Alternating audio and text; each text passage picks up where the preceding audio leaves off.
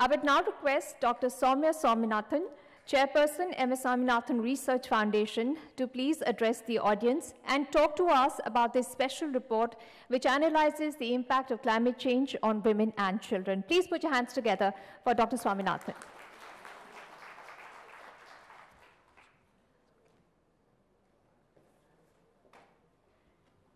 Namaskar and good morning.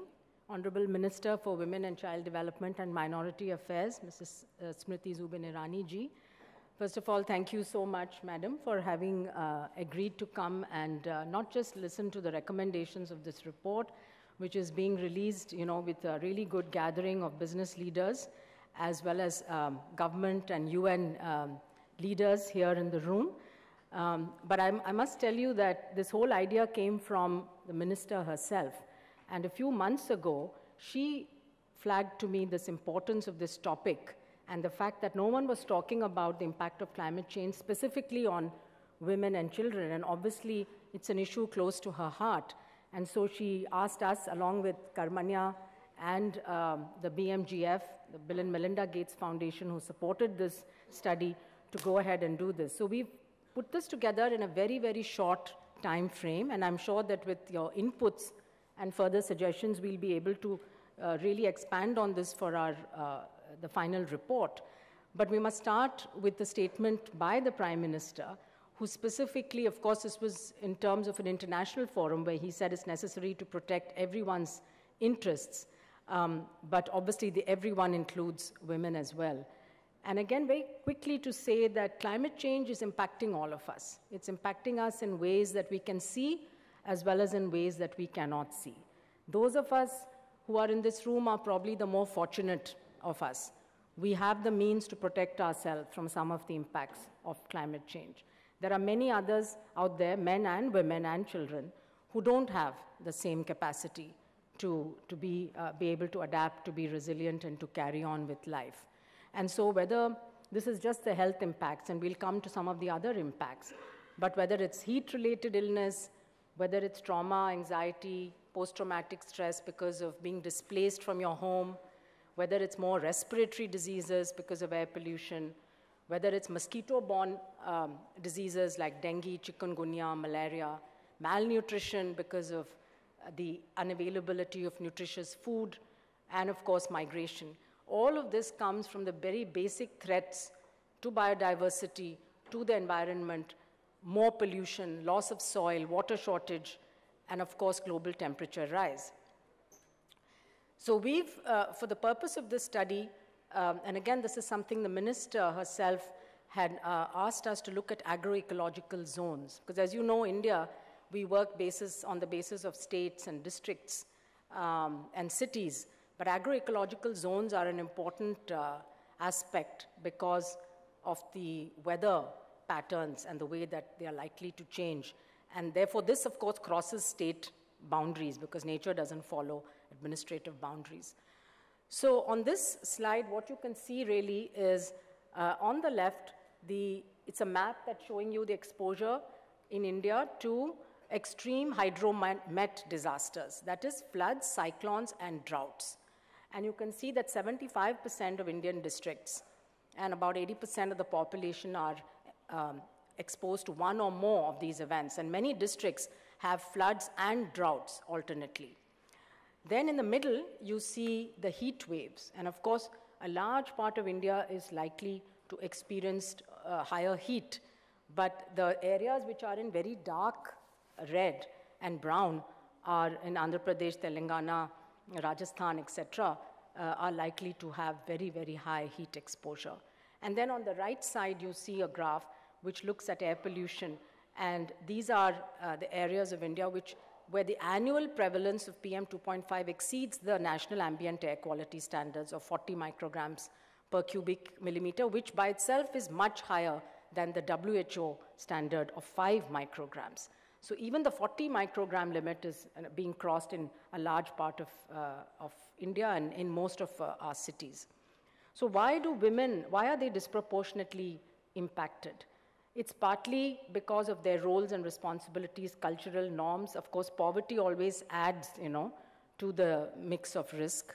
Um, the UNDP says that women and children are 14 times more likely than men to die in a disaster, but they're also impacted by crop failure. This leads to uh, uh, food insecurity and more work on the field, water scarcity, um, conflicts, and migration, healthcare, because women are more spending more time on, on the field or at work. They have less time to take care of their own health.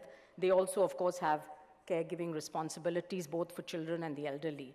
Fuel, natural disasters, displacement, all of this impacts women, but also children. They are one of the most vulnerable, both to death and disability, but also to chronic effects like heat, for example. We still don't understand how heat exposure is impacting children's learning. If they're sitting in a hot and humid classroom, can they really concentrate on their studies? We've seen that children, because they are smaller, they have uh, smaller airways and lungs, they breathe more rapidly, they are more uh, affected by air pollution than adults. And on the flip side, we need everyone for climate action, right? Climate action, if we are to adapt and mitigate the impacts of climate change, it can't be done uh, unless women and children are involved and empowered. And in fact, there are studies which show that if you give women the same resources as men, they actually do much more with that. Even agricultural yield uh, improves. Women also have, of course, agricultural women have a lot of natural knowledge, uh, traditional knowledge and wisdom about what works and what doesn't. So if you empower them with the tools and the resources, they put it to use. Women have always been at the forefront of environmental conservation, and more and more you see children now, right? Children are speaking up. They want action. They are demanding action because they know that it's their future, that they, they are going to live in a, in a world where, you know, most of us will not be around. So this uh, scoping study, I'll just have time only to take you through the major recommendations. We did basically a literature review. We also did some analytics. We tried to identify the gaps in the literature, and we had a lot of uh, discussions and regional workshops to gather inputs from uh, experts, from civil society organizations, from NGOs, and from the community themselves, from different agroecological zones of the country. Now, climatic events, of course, are sudden, like cyclones and tsunamis and flood, flash floods, but a lot of it is now gradual or recurrent, like heat waves and droughts and things like that. So the impacts are also can be sudden, and they can also be chronic or subacute.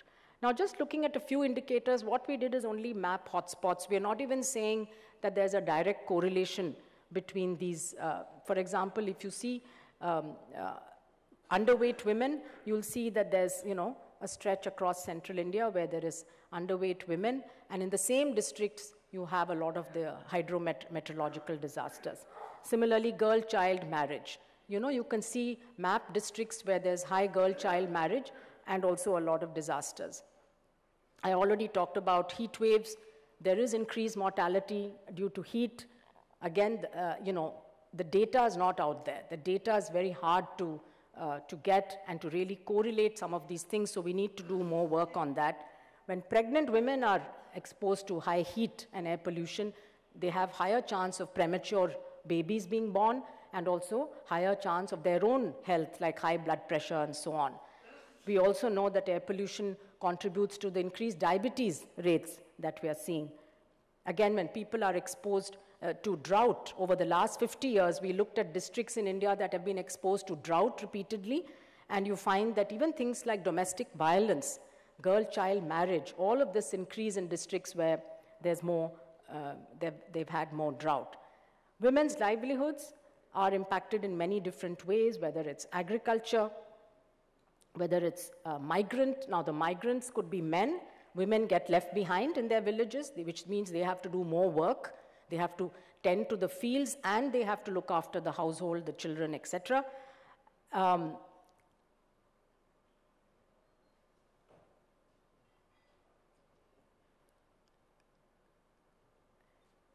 non-timber based, uh, produce based livelihoods because of loss of forests, loss of biodiversity, this is also impacting many of the livelihoods, traditional livelihoods that women, especially in our tribal areas, had. and the warming of the ocean, we often forget about the coastal communities. And India has such a long coastline, and there are people involved in fishing, but also non-fishing livelihoods, and they're all getting impacted by salinization, by the rise of sea level, by the loss of, uh, you know, reducing fish yields that the small fishermen are able to get, and of course, they're also being impacted by heat and humidity. Now, again, children, we know that many of the gains we've made in child survival could be undermined now because of the impacts of climate. And again, these graphs just show just examples of stunting and underweight in children in the same areas as areas which have extreme floods, droughts, and so on. We know again that heat waves, air pollution, floods are all impacting, especially newborns and infants in the first year after birth. And the same relationship we see in children who living in drought prone areas are more likely to be stunted and have less minimum uh, the dietary diversity, so the, what they eat on their plate is also less. Again, climate hazards, children's education, we know that when you're disrupted, you have to be moved out of your home, learning will be disrupted. And not only it's just uh, the learning, but it's also children's cognitive and socio-emotional development.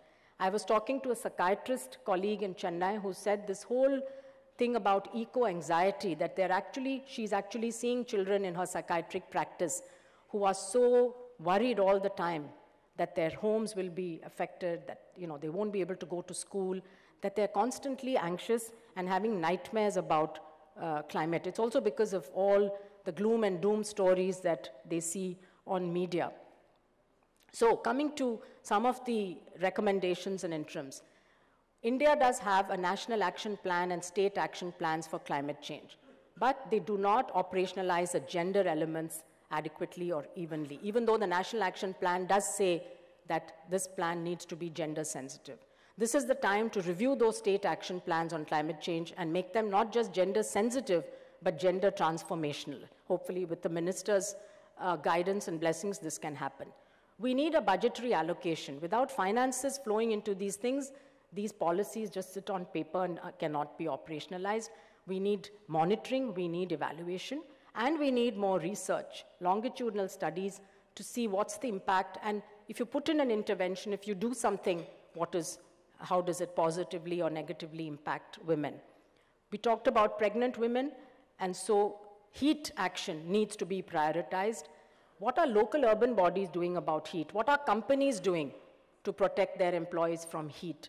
Um, can Ashas and Anganwadi workers deliver tailored messages for pregnant women? We also need to see what is a heat wave. There's just one definition of a heat wave today for the whole of India. But I live in Chennai. 40 degrees in Chennai and 40 degrees in Delhi are very different the way they impact the body because you have to add the humidity factor. And therefore, the heat wave definitions need to be looked at.